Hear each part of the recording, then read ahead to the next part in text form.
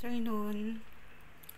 Narito na naman po tayo sa ating pong kitchen at dahil po sobrang init, uh, meron po tayong gagawing bagong recipe, ang banana hansel shake.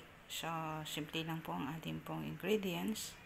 Yung ating saba na uh, minatamis na po yan, dalawang hansel, uh, na uh, na peraso or isang isang pack po ng Hansel evaporated milk at ice. Ayan po. At magdadagdag na lang po tayong konting sugar kapag po kailangan.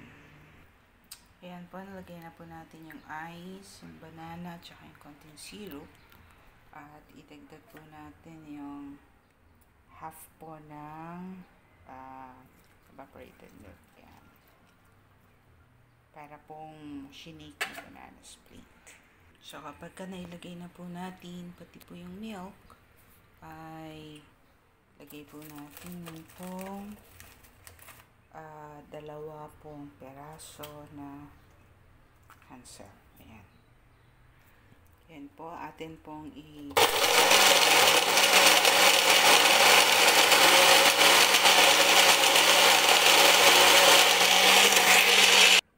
po, tapos na po ang ating pong na shake na um, banana with hansel po. At ilalagay na po natin yan sa container. Nag-prepare din po tayo ng yung pong isa pong peraso na kinrush po natin for toppings. Ayan.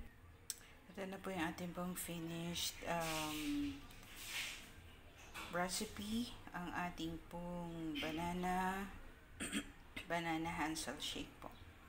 Ayan. So, happy refreshing.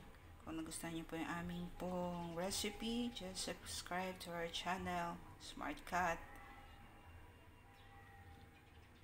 Happy day!